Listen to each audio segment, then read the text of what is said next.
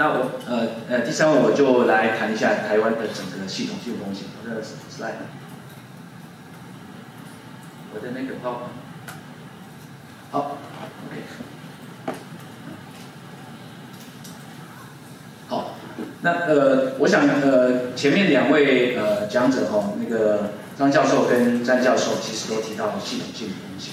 那我们这次的整个台湾风险社会论坛的一个主题也是在谈系统性风险。那从风险社会跟风险治理的角度，我想来做一个很简短的一个报告跟分析哦，来跟大家分享哦。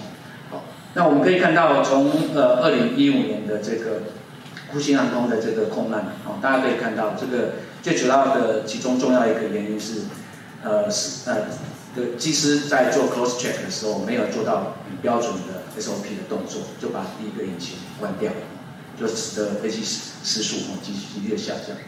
这是也是二零一五年发现尘爆，这个事情我想也是非常大的公共公安的事件。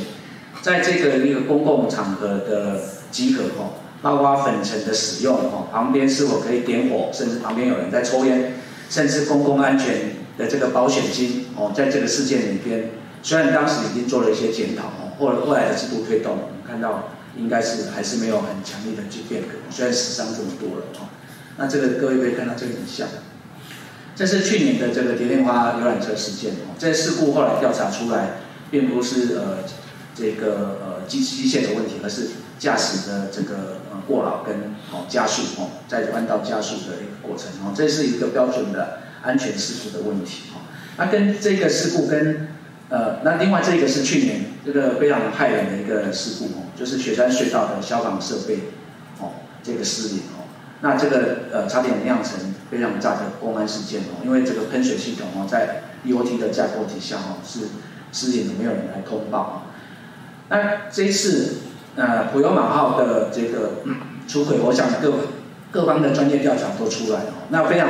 重要的哦，其中嗯其其实其实有非常多的事故哦，包括。司机关掉那个 ATP 系统，哦，跟这个 ATP 系统目前调查出来，当时在设计跟验收的时候，哦，这家决策过程里面并没有做非常精确的一个一个事情。我想这个都是非常重要的。我们看到的台湾在各个地方产生的这种系统性的风险，哦，可以可以看到这。那我们来探讨是说，事实上，刚刚刚刚前面两位教授提到的，台湾在面对。非常大的这个变迁哦，尤其系统的转换里边，到底我们要怎么来看待这么多的事故？有些事故，有一些文化，有一些价值，或者有一些整个决策，或是公部门，或是私部门，大家对这件事情呃重要的重要的这个重视的程度。那我们可以来简单来看，我们如果来看这是全球系统性的风险哦，包括台湾，包括世界各国，现在其实都面临着呃非常剧烈的气候变迁哦，环境污染。金融市场跟经济的转型，哦，跟这个现代化所产生的各种冲击，哦，可是这个这个事实上就是使得每一个社会在这样的一个高速变迁的架构底下，哦，每一个社会面临的这样的一个灾难或系统性的风险，哦，它的承受的韧性其实已经到达极致，哦，到达极致要怎么去转型？我们可以看到刚刚，呃，呃。詹老师跟呃张老师都特别提到哈，这个一个是整个美国在发生事故的时候的一个专业委员会的调查哦的各种 stakeholder 利益冲突的考量。另外一个我们可以看到，像在日本跟瑞典对于交通运输零风险或者接近零风险这样的一个要求，实际上这是可以改变的。我们可以透过制度性的一个改变。可是的确哈，在我的这个 PowerPoint 里边哦，我跟前面两位讲者有非常接近的一个思维哦。事实上，我们台湾作为一个以经济发展为驱动，我们在社会科学学理上叫做呃，就是发展型国家，以一个经济导向为驱动的这样的一个社会哦。事实上，到现在已经到已经到了一个瓶颈。这个瓶颈其实应该是在一九九零年代就到了，到两千年以后要面对一个全球的我们刚刚讲的这种产业、经济、社会哦环境的转型，一直到现在十一年来都没有真正的转型成功哦。所以，我们卡迪加啊，卡迪加的灯没短了。那这样一个经为经济导向的一个一个一个发展，我们忽略了经济成长之外的哈，今天谈的是运输，哦，环境还有劳动各种成本哦。我们习惯于在用合色的经济哦。刚刚讲，刚刚公司的记者一直在问这个交通啊能力是不是需求啊充足的问题哦，是调度的问题。我想刚刚呃张老师的回应哦，是跟是大概跟我的想法，我的想法非常接近。我觉得我们在传统的低薪呃低环境支出跟低价便宜的惯性底下，如果这些都不改变的话，事实上要进行改革是有会遇到一定的障碍的。哦，那这这个合适经济思维，事实上又停留在我们假象的这种低价的燃料，哦，低价的核能这样的一个思维。哦，所以我们整个系统事实上产是卡在这一个地方。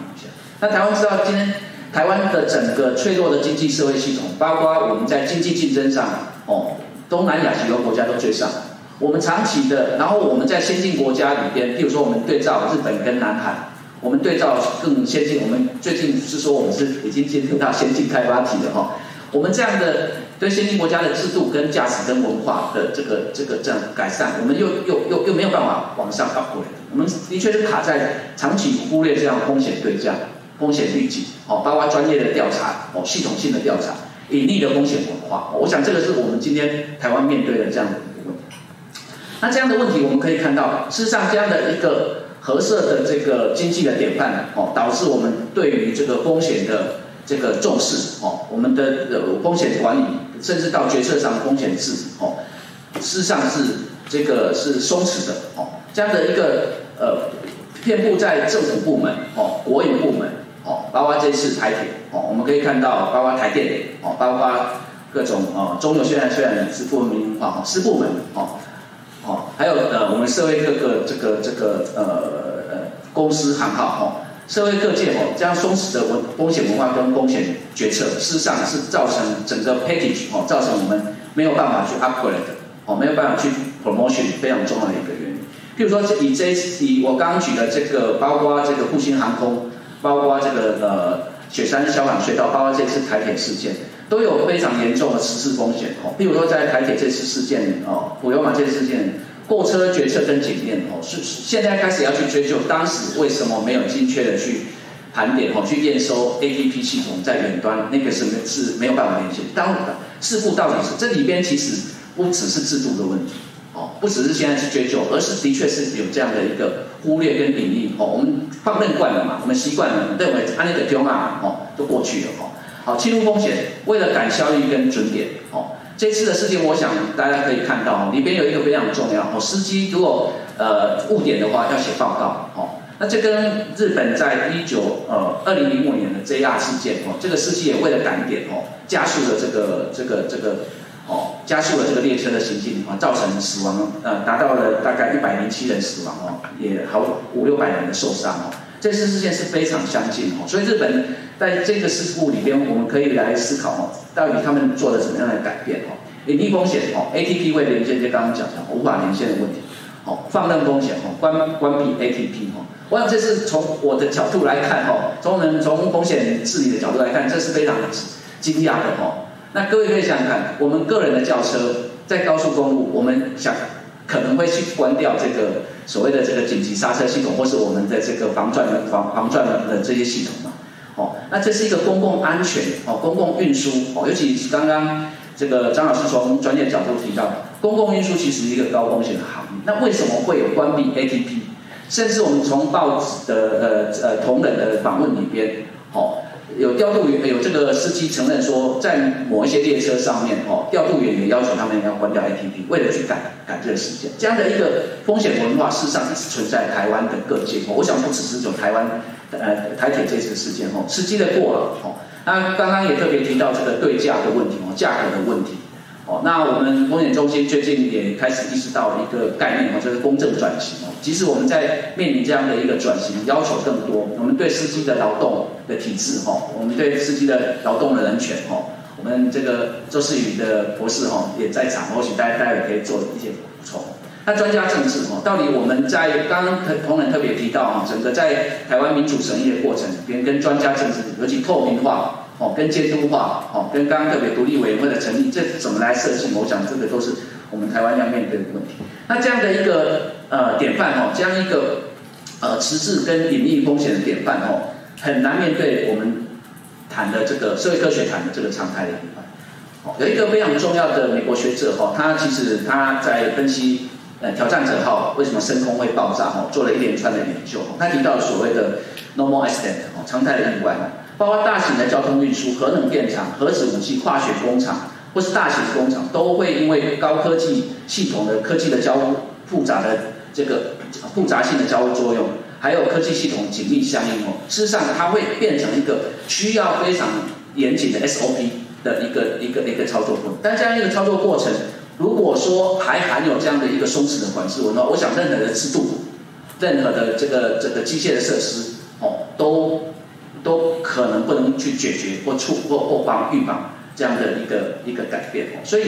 我们我刚我的意思是说，本来在一个大型的机械系统都有可能产生这样一个常态的意外、常态的这个呃呃事件哦灾难，何况我们我们刚刚提的台湾是面临的这样的一个转型过程里边，在一个核色经济哦低价的环境，我们对风险的疏忽哦，我们对于这个风险长期的隐匿哦，这个在我们台湾这十多年来甚至二十年来不断在发生，不断在呃不断在重复的这个，大家可以看到这些问题哦，大家最常看到就是食食品安全的问题哦，所以这整个台湾面临一个结构性的一个风险预防预防的问题哦。那我要谈的是说，这样的一个松弛的管制文化跟风险文化，放任风险跟实施风险管理。虽然我们刚刚特别两位呃呃前辈也都提到了哦，我们在事实上在十多年前对各种专业的鉴定，我们都知道了，我们都提出来，但是没有办法去改变。到底没有办法去改变的问题是什么？这事件发生了两个礼拜了，现在大家又开始宣陷入了，每天都是选举。哦，选举过后，这些事情可能还会再发生。所以这样一个放任跟实质风险管理跟决策上跟运输系统的整个全面的转换，到底有没有根据这样的事件做一个停损点？哦，如果没有的话，这些制度性的忽视就会再再次导在导致整个社会就忽视事情过去就算了，哦，会导致灾难不断的重复的发生。那大家都要做在政治上哦做公道，这是非常没有意义的哦。我们今天要看到大家关怀的问题是说，要面对这样的一个问题哦，我们怎么样去？呃，导正这样的问题哦，作为一个前车之鉴哦，而且这样的一个脆弱的脆弱的风险，事实上会让整个社会信任不断的这个损毁哦，让大家越来越不信任政府的治理哦，整个台湾事实上在转型过程面对的一个问题哦。那国际上